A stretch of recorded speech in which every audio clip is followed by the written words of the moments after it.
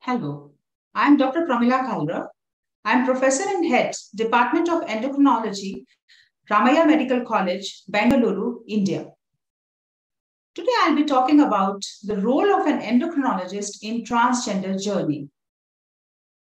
When we talk about transgender, we need to know about gender incongruence. This is a state of having a gender identity that does not correspond to one's gender assigned at birth the person may have distress secondary to that, and then what we call it as gender dysphoria. So, what problems transgender people may experience? They may have distress due to incongruence. They may have fear of disclosing their transgender identity as it may create work problems in their workplace, or they may fear stigmatization, rejection.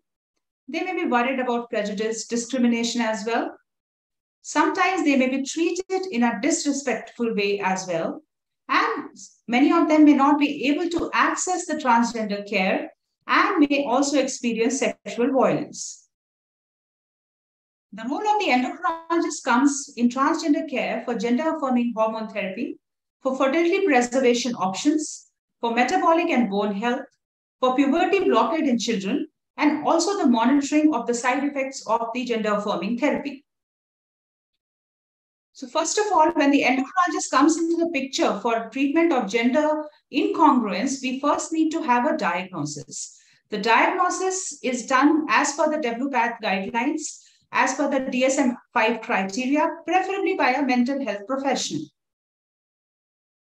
So the role of the endocrinologist comes for gender affirming therapy. The people who seek gender affirming therapy may have variety of therapeutic treatments starting from psychotherapy to hormone therapy and later gender affirming surgery as well. When we talk about trans men, it usually involves testosterone therapy, which can be administered intramuscularly or as gels transdermally, whereas for trans women, that is for male to female, the regimens mostly involve estrogens and anti-androgens. Before starting the gender affirming therapy, the clinician should inform and counsel all individuals seeking the gender affirming medical treatment regarding the fertility options for future fertility preservation. The fertility preservation trans males, that is from female to male, includes oocyte cryopreservation, embryo cryopreservation, as well as ovarian tissue cryopreservation. But most of the patients go for oocyte cryopreservation.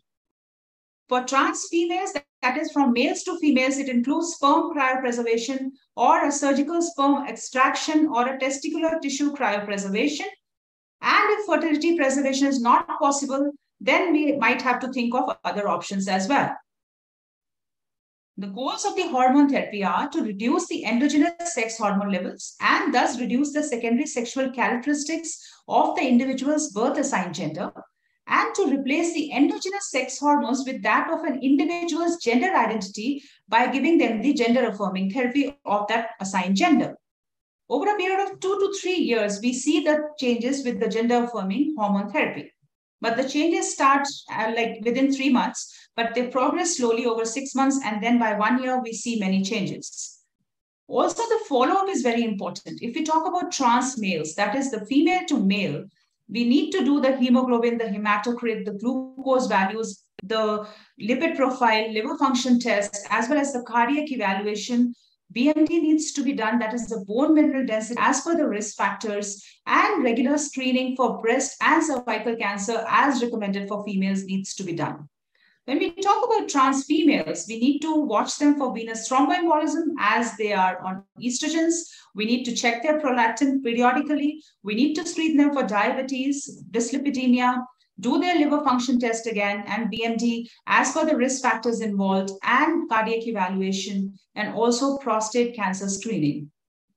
Lifestyle modification is the key. It has to be done for both trans males and trans females Avoidance of smoking and alcohol is paramount.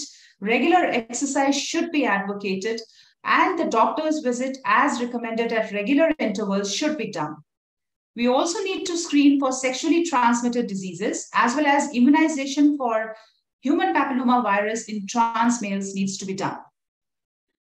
When we talk about the treatment of gender incongruence in children, we need to start the puberty blockade if indicated and if the diagnosis is confirmed by the psychiatrist at Tanner stage 2 and then we need to follow them up. And after the age of 18 once they are in a position to take the decision we discuss about the options of the gender affirming therapy with them the children who are started on puberty blockers need to be followed up for their anthropometry, that is weight, height, their BMI, their blood pressure, and also the Tanner staging needs to be followed.